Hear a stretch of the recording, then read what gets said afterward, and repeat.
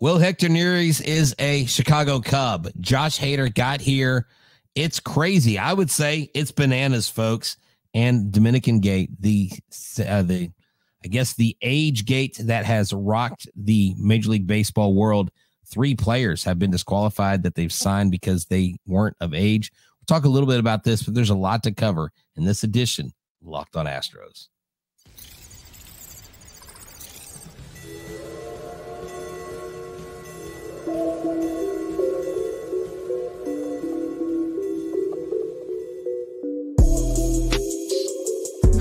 Welcome to Locked On Astros, your daily Astros podcast. Here are your hosts, Eric the Man Huysman and Brett H Town Wheelhouse Chancey. We are Locked On Houston Astros, and we hope that you join us for a daily Locked On Astros podcast. My name is Eric Huysman. You can find me on X at Eric Talkstros. You find the show at Locked On Astros, your team every day. Brett, where can we find you at?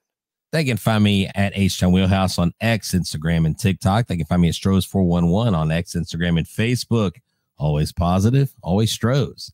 Thank you for making Locked On Astros podcast your first listen. Whether it's on YouTube, go and subscribe to us. Go and make us your first listen on Apple, Audacy, Spotify, wherever you listen to your podcast. Go and check check us out and become an everyday or subscribe to the podcast. And uh, thank you once again for making us your first listen in 2024. Today's episode is brought to you by FanDuel.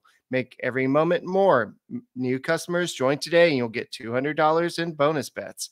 If your first bet of $5 or more wins, visit FanDuel slash locked on to get started today. So, Brett, we got a lot to kind of talk about, and we even have something that we're going to push to next show with JP France and Hunter Brown on their workloads from 2023 and how it's going to go into 2024. So, make sure you tune in to tomorrow's episode. But uh, we wanted to talk a little bit about Hector Neris. He is now going to Chicago. Did he right. get that uh, four year deal or three year deal he wanted for $50 million that he was looking for? Uh, he bet on himself. And uh, is it going to pay off? Uh, we'll talk about that. Uh, we'll talk about this is just our opinion. And uh, we don't know exactly what led to the Astros getting Josh Hader, but it just, it just, if you put it two and two together, it makes four. And that's just our opinion. And also, what's going on with this Dominican age gate? And so we'll just talk about this and cease this trade talk to Seattle, please. They don't need any more pitchers over there, uh, please. And uh, I just don't see it happening. So we can discuss these on today's Locked On Astros. Yeah, definitely. You know, Hector Neris um, goes to the Cubs on a deal that my initial reaction was, wait, he only went for that? Like we could have signed him. What was the thinking? Um, but I really do believe though that the I guess I guess the linchpin, for lack of a better term, in this deal were the I guess incentives in the in the in the club right. option. Um, because of the like I guess nine million, he turned down the eight and a half um from the Astros their their their offer. And I, I really thought he was going to get a three year deal. Um, he is he is an aging pitcher, and so that probably played into the factor. But um, and you can correct me if I'm wrong. I believe the incentives can go as as high as 23 to 25 million over the next two years. 23.25 million. Yes. 23.25 million basically this year and next year combined, right. correct? With the mm-hmm. incentives. Mm-hmm. Okay. So it's really not like when I first saw it, I was like, oh my gosh, they're paying him a lot. I was like, no, they're not paying him anything. And then my other thought was, why didn't the Astros get him back? Why couldn't they sign him on this? And it, does that mean that they're really looking heavy at a left-handed bat, Eric? Does that mean that they are really thinking, trying to be forward thinking, looking at these extensions they have? Because I mean, really, even though Hader's deal is the biggest of any closer that we've seen, it's really not it's it's not insurmountable compared to the 33 to 40 something million that position players are making. It's really basically half of that. So um, Hector Neris is going to be a Cub. You know, um, there's a lot of former Astros in Chicago, whether they're on the South Side or whether they're in Wrigley Field now. Right. So if you look at what's going on with uh, Neris, uh, it's nine million for the first year, and if he pitches 60 innings in 2024, it will vest the option for 2025. So he'll make another nine million. Of course, you have the other incentives that will lead to 23.25 million. So uh, he's making uh, less than what um, Jordan Hicks basically got, but still, it's uh, it's still a good deal. He is an um, older player. He is his velocity is going down, and I think what the Astros saw is yes, he had a great regular season, but you saw you saw his age, a diminished velocity, and uh, he didn't he doesn't really have a lot of recent closing experience, and so. Uh, you would think that a lot of teams would be out there. Oh, look what he did last year with the Astros. Look at how he did. But I think a lot of teams saw what he, what happened in the playoffs, saw how hittable he was in the playoffs, and uh, they're like, "Well, this guy is wanting sixteen point six million dollars. Uh, he's wanting a four year deal with for about fifty million dollars. Is this guy worth it?" And so a lot of people were just looking at the back of his baseball card, so to speak, and then looking at how much he's wanting. He's like, "He's not a closer." He doesn't deserve this. And so that's why they're probably including the Astros they're probably not even uh, looking at that. They're like, and uh, this is going to lead us to our next topic in a second. But uh, definitely, if you're looking at um, Robertson, he also signed with the Rangers right. for $11.5 million guaranteed. Uh, so he gets five million salary in 2024 uh, with a seven million mutual option for 2025. There's also $1 million per year in deferred money, money from 2027 to 2031. Uh, so the Rangers out and answer the Josh Hader deal with David Robertson. But Robertson's 39, right? Yeah. And Hader's 29. Right. I like our deal better. I like yeah. our better. I don't I don't necessarily know that the that that the Rangers retooled the back end of their bullpen. They definitely added another arm right. to him, the Leclerc. But you know, the jury's still out on whether whether or not they will go out and get Monty, but you know, get Jordan Montgomery back, who was a big part of that run. Um, remember they, you know, they still have Bruce Bochy. Will their offense be firing on all cylinders like it was last year? But you know, the, the Rangers for me getting Robinson doesn't really Robertson doesn't really move the needle for me. But Hader, you know, Hader does. Hader Hader moves the needle. Um, Hader to me to mm-hmm. the Astros moves the needle more than more than Cease to Seattle, more than even Montgomery, just because now you've got a seven, eight, nine. That's a for sure lockdown, pretty much night in and night out. The question is who's going to fill in those longer relief roles. And I think the Astros do have in-house options that aren't bad options if they don't go out and get any more arms. Yes, and uh, we're going to talk about that tomorrow. Um, if you're looking about the um, long relievers, you have possibility for a six man rotation needed for the first maybe 20 games.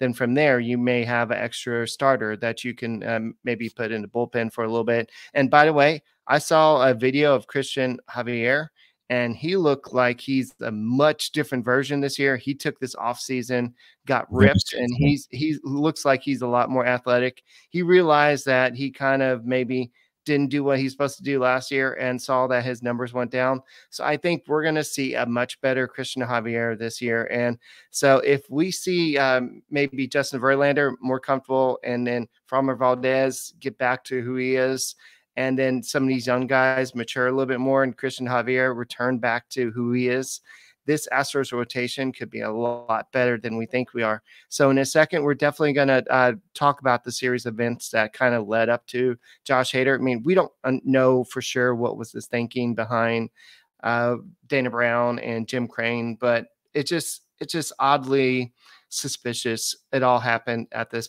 uh, and it all goes back to some stuff that happened last year. So we'll talk about this. We'll talk about uh, Dylan Cease going to Seattle, maybe, and we'll talk about the uh, what age gate that's going on in uh, the Dominican. So near you, near new year, new you. Well, maybe you stumbled just like I did into this ad read, but Factor Meals is here to help you. Factor's ready to eat meal delivery takes the stress out of meal planning and sets you up for success in the new year. Skip the grocery stores, prep work, the cooking fatigue instead of the chef crafted. Instead, get chef crafted, um, dietitian approved meals delivered right to your door. You don't have to go out to eat anymore. It's not even healthy for you. So eat at home. Forget frantic lunch preps and rushed dinners. Factor's two minute meals are your secret weapon of the new year. Fuel up fast with restaurant quality meals, all delivered right to your door. When you when things get hectic, Factor is flexible. Change your order every week if you want to. Plans from four to 18 meals per week, or pause or reschedule deliveries at any time. Stress less over meal times in the new year. Factors no prep, no mess meals, free up time otherwise spent shopping, cooking, and cleaning up. No more wasting time in the kitchen. That's right. Factor has everything I need for a week and a flavorful option, nutritious options, and they have ready to eat meals. On top of that, they have cold pressed juices, they have smoothies, they have energy bites, extra protein, veggie sides, and more to keep you energized. So what you need to do is go to factormeals.com slash locked on MLB 50 and use the promo code locked on MLB 50 to get your discount today. Factor meals, if you want to factor in success and health, do it right now with locked on MLB 50 right now. Hey guys, thank you for making Locked On Astros podcast your first listen every day. Whether it's on YouTube, go and subscribe to us. Go and make your, us your first listen on Apple, Audacy, Spotify, wherever you listen to your podcast. Check out the Locked On Astros podcast. But check out Locked On Sports today. It's a 24 7 streaming channel first ever out there that's just it's not just baseball it's not just basketball it's not just football it's not it's everything out there that has to do with locked on. So just go check it out it's locked on sports today on youtube and subscribe to the first ever national sports uh, streaming 24 7 streaming channel out there so, Brett, uh, we definitely need to uh, kind of talk about uh, what's going on once you unmute yourself. But um, I do want to bring up the. This is just our opinion, real quick. But I do want to just kind of. This is our opinion. This is just what I think, and this is pro- probably what you think. So last year, the Astros traded for Kendall Graveman. Kendall Graveman missed uh, the playoffs. And I don't, we don't know if Kendall Graveman didn't have that shoulder injury that led to the possibility of, I mean, that, uh, um, well, what if he was in there? Would his arm have been the difference in Astros maybe going to the World Series instead of Rangers? And then that poor Rangers fan wouldn't have that ugly tattoo of the Creed. Um, you, I'm sure you've seen that with the. oh my God, that that was that was worse than the Astros cheating scandal. That was that's more scandalous than. Yeah. I mean, that was bad. I mean, I'm sure y'all have seen it on TikTok and everywhere. It's X, yeah. There's there's not much that I've seen that's worse. Yeah, it's terrible. I mean, I can understand wanting to celebrate your team winning the first World Series in franchise oh, history, but 100 percent with Creed. but no, not just Creed. Fire the tattoo artist. I mean, is that like a post career Creed? Is that is that like a post career? What's his name? That David Stapp? Is that was that his name? Maybe the lead singer. Yeah, yeah. It, dude, that looked that looked, looked like someone's aunt trying to do Creed at karaoke. So sorry, bud, that was a big fail. Anyway, so uh, the Astros got Graveman last year. They did trade away. Uh, who was it? Uh, the catcher of the future. I can't think of his name off top Korey of my head. Lee, Korey Lee. I'm like catcher of the future. future catcher, but I couldn't remember. But yeah, I'm trying to formulate my thoughts here. So um, now, uh, come to the off season, we find out uh, a couple Tuesdays ago that Graveman's going to be out for the whole 2024. And now you have big hole in the bullpen. And the Astros are like, well, let's go ahead and bring back Hector Neris. And I'm sure Jim Crane and Dana Brown had that discussion. Well, how much are you willing to pay to Neris? And they probably called his agent, and uh, Neris' agent said, "Well, if you want us back, uh, we're not going to give you hometown discount. We want we want to play, but we want you to pay at the same time." So they probably asked for about maybe 16 million, 15 million, uh, 14 million, because he declined that 8.5 million. So he wanted to get a little bit more. Right. And so I think that Jim Crane just was like, you know what? This is the market. This is what's going on. So forget Her- Hector. Uh, this is the market. Why don't we go to the top of the market? And that's what he actually said. Let's go ahead and go out there and get the best reliever out there. And just if we're going to have to spend money anyway, let's go get the best one out there, which is Josh Hader. So basically, Graveman and uh, Neris gave us uh, Hader. Right. I you know, um because Dana Brown said that the timeline was like a 72 hour window tells me that I do believe the reports that last year Crane wanted to go after Snell and Hader. Okay. Right. I'm glad Oh, that's the other thing. Yeah. yeah. I'm glad at this point we didn't get them because it would have changed whether we kept Hader on a long term deal. Who knows? Maybe they sign him to an extension, yada, yada, yada, whatever happens. But I think too that all this stuff did play a part, that they've wanted um Hader this whole time. But now, like you said, with Kendall going down, with Hector Neris not signing, what are you going to do to beef up that bullpen? Mm-hmm. And if you're going to beef it up, why not beef it up in the strongest way possible? And not only that, the back end, and then you can push your dominance that's in the back end down further during the game. So the fact that Pressly's probably taking a setup role to me is not a demotion because Pressly's effectiveness and importance as a setup guy and Hader's effectiveness as a closer is just as Right. important instead of having to depend on Pressly.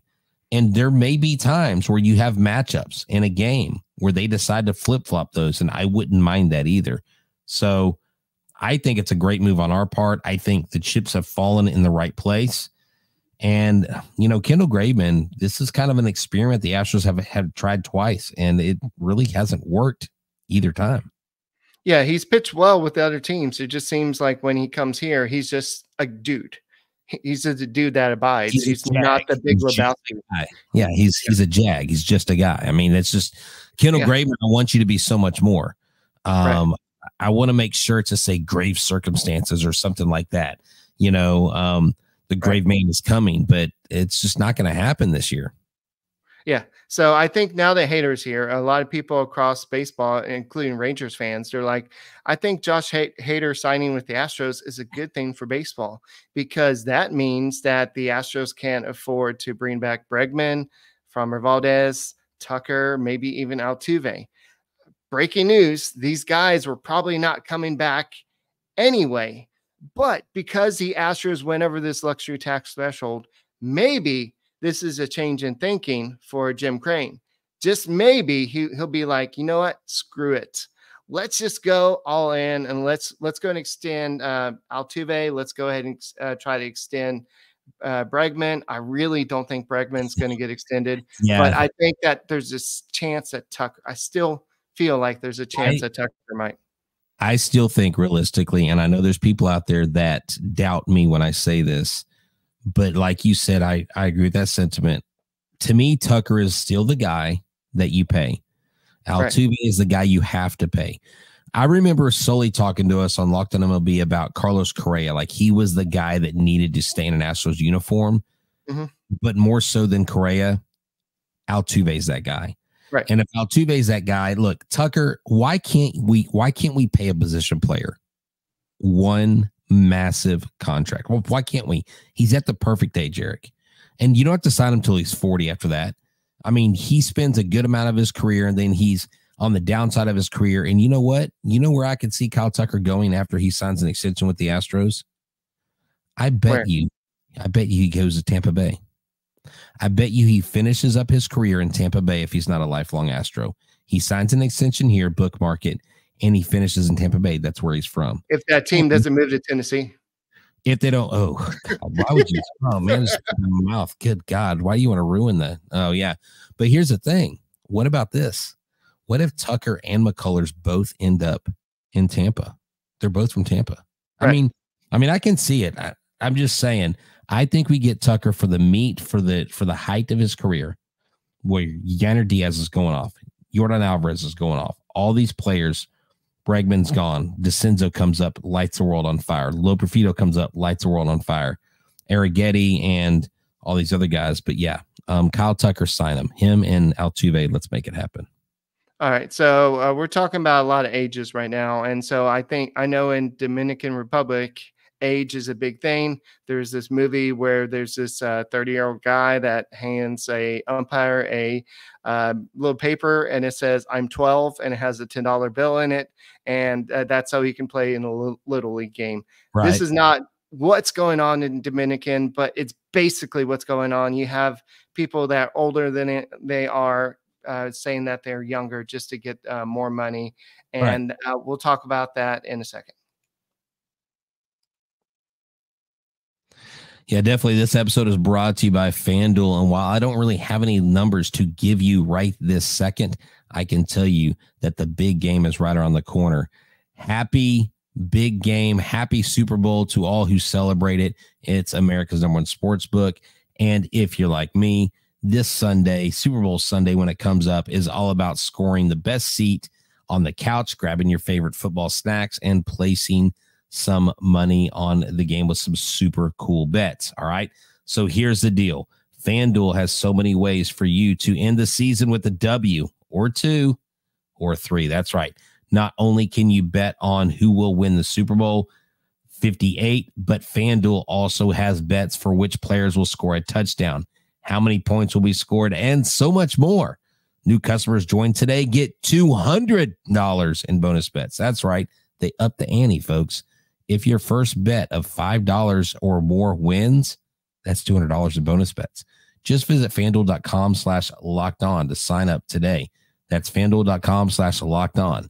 Make every moment more with FanDuel, an official sports partner of the NFL. Hey guys, check out Locked On Sports today. It's the first ever uh, streaming 24 7 channel out there. It's got all the sports news you need to know, all the NFL playoffs going on right now. Who's going to go to the Super Bowl? Who's going to win a World Series this year? I know baseball's uh, paramount on your mount, mind right now if you're watching this podcast, but go and check out Locked On Sports today. And it's got all the everything you need to know 24 7. All right. So, Brett, I know that 15, 20 years ago, there was a big problem in Dominican, and uh, I guess I would say across baseball with people saying, uh, lying about their age. I know Miguel Tejada, right. uh, he got in trouble for um, saying that he was he was actually older than he actually was. Uh, so, uh, there's a lot of uh, things that reasons for this. like we've talked about on podcasts before, if you're above a certain age, you're no longer um, considered a prospect in the in the uh, Latin countries in the in the right. um, international world. So uh, you have people saying that they're younger than they are, and so uh, Major League Baseball has uh, done some back background checks. They have done put in some checkpoints for this, and a lot of teams have gone above and beyond to really they've actually hired people to actually investigate uh, these people before they actually sign them. Because a lot of these deals are handshake deals. Hey how old are you? Let me see some type of document. Okay that looks right. good. We'll, we'll, go and sign you. So um, but um, apparently there's about 50 players that have uh, had their arrangements with their teams nullified because they lied about their age. And according to multiple uh, executives from different teams, the Astros were the hardest hit because they've lost three players. We don't know who those three players are, but uh, right. that's a big hit. So you know, it's funny this this issue has flipped from someone saying that they're older than they are to people saying that they're younger than they are. So that that is an interesting plot twist in this whole um, thing. And look, the the whole saga of players coming from other countries. You know, I don't know if many people know this out there, but kids from the Dominican, um, a lot of times by the age of 11 and 12, they drop out of school and they go to these baseball academies. And they basically, it's kind of like there's, there's this place called IMG Academy um, in Florida, and it's like a super, super sports school. Okay. Like if, if your kid's like the best of the best, he goes to IMG Academy, they get the best training, they have dorms. It's basically like a college for high schoolers, right? And these kids, they have on their mind, I need to make it to professional baseball. Why? Because I got to get out of poverty. I got to get my family out of the hole that we're in. And this is their best opportunity.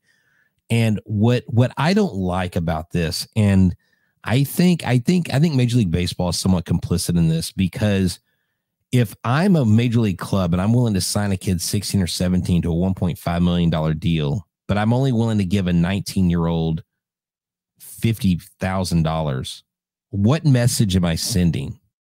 What do you expect kids and men and young men that come from challenging situations who are looking for a better life. And we don't knock them for that at all. But what would you or I do in that situation? A lot of times, if you can get away with it, you probably would do that if you were in that circumstance. Now, it doesn't make it right, but I think the system at hand needs to be revamped from baseball's perspective because that sends a very poor message. Oh, you're 19. Oh, you only get 50K. Oh, you're 16. Here's 1.5 million, kid. What are you going to do? Right. I, I think and it's based so, on their talent level, too. Yeah. But I'm just saying, though, you're not offering a 19 year old what you're going to offer a 16 year old because 16 year olds got a lot, lot more time, like you said, prospect wise. I, and I don't know all there is to know about this topic, but on the surface, reading the articles, seeing the initial reports, it seems like it's not just the issue of the kids lying on their for or the guy saying they, saying they're younger they are. They're incentivized to do that by the system at hand. The system right. enables them and basically because if a 16 year old and 19 year old got paid the same, do you think they'd be lying about their age? Yes or no? Um, yes. No, maybe. No, you wouldn't. No. no, think about it if if I'm going to make 1.5 million or 2 million as a 16 year old signee, or 50,000 as a 19 year old, or if I'm going to make 1.5 million either at 19 or 16. Oh, okay, yeah, I hear what you're saying. Yeah. saying. You're you're not going to lie about ability, uh, uh, like driven versus like like what's your floor, what's your ceiling, or what your like right. talent just, level is versus age. And you know, honestly, look, I mean, the elephant in the room is there's a lot of things that have been uncovered with Major League Baseball over the years about these various kids and and right. the ages and stuff. So um, I think though they need to get this right. And if if we disqualified those three players from the Astros, you know what? Then they need to be disqualified for that reason. Yes. All right. So let's cease this talk and talk a little bit about Dylan Cease. I know that um, a lot of Astros fans that watch this podcast, they have really pushed us for about two, three years now to go get Dylan Cease. And a lot of people are like, why is he still on this team? Here's a quote from Jon Heyman The White Sox are asking for the sun and the moon in trade talks for Dylan Cease. This is why. This is why I've been saying for two to three years. Dylan Cease is an ace yes, he had a bad year. I forgot if it was last year or the year before, but this guy has the stuff. He has the the potential for 200 innings, 200 strikeouts, three something ERA. And then today we have Bob Nightingale come out and say that the Mariners have engaged in trade talks with the White Sox surrounding Dylan Cease, and that there's a trade package that's centered around Bryce Miller or Bryan Woo. Uh, so those are uh, both great starters in the in the uh, Mariners uh, rotation, but um, it's going to take a lot more than just that. They're going to have to give up some of their. Um, the Mariners have a good farm system. That's why they're able to compete with the Astros. That's why we've seen them. That's why we've seen them rise uh, to where they are right now. And uh, but I just don't know if they have enough to get it done. Yeah, no, I mean, at the end of the day, if if if Seattle gets him and someone someone had a uh, not a Twitter beat, but they had a counterpoint to my tweet about if if Seattle gets Cease, then I think it makes them one of the contenders for the AOS just because yeah. I just kind of believe in what they're doing in Seattle. Um, they were like, well, you know, pitching's not their issue; it's it's their offense, and I agree with that wholeheartedly. But Dylan Cease to Seattle would be would be a big thing to have him and Castillo in that lineup along with Logan Gilbert. I mean, that would just be a, one of the one of the better rotations, right? So at the end of the day, bottom line is this: Chicago's going to price themselves out of a trade, and they're going to keep doing this. If they keep doing this, Dylan Cease is going to walk as a free agent. And they're going to get nothing for him. So the question is: Does Chicago really want to get something for him, or do they want to wait until his years are up and they get nothing for him? Because, yeah. Oh no, I'm just saying. I mean, get him now. I mean, because what happens if Cease has another bad? What if what if he has a bad year, and then you want to trade him? He's got maybe like one year left. You know, like what are they going to do? Well, just remember that he somebody like him, he still has trade value. When the Astros traded for Justin Verlander from the Tigers, he was having a bad season. but the Astros knew that they could fix him. They knew that uh, he was just on a bad team. And so playing for a team like the White Sox, sorry, White Sox fans, if you're listening to this, uh, they're just not, they're not a team that's uh, built to win right now. They should have been with all the prospects that they had, all the, um, the big names, but uh, maybe in a couple years with the right trade. But right now they're looking to still build from within. Speaking of prospects, real quick, um, the Tigers did something that you don't really see a lot um, that often. They actually signed a player that hasn't really played that much in, in, in the minor in the major leagues at all. Colt Keith, uh, they've signed him to a six-year contract extension through the 2029 season. Uh, so he's basically before I believe this is before he's uh, played in the big leagues, 82 million dollars over nine years good luck with that. We've seen how those deals have ended up working out for some teams. So, you know, Eric, um, this is a great show. And coming up on our next show, we're going to talk about JP France and Hunter Brown and their usage in the 2024 season. So make sure you like this episode. Make sure you subscribe to our YouTube channel and tune in to our next episode. JP France and Hunter Brown. What will the workloads be? Well, I think what my workload is and Eric's workload we are ready for this season. We're getting ready. We're in spring training mode already. We're actually mid-season form, all right? Y'all check it out. Um, thank you for tuning in to Locked on Astros. We're your team every single day. Tell them, Eric. Go Stros. We'll see you tomorrow.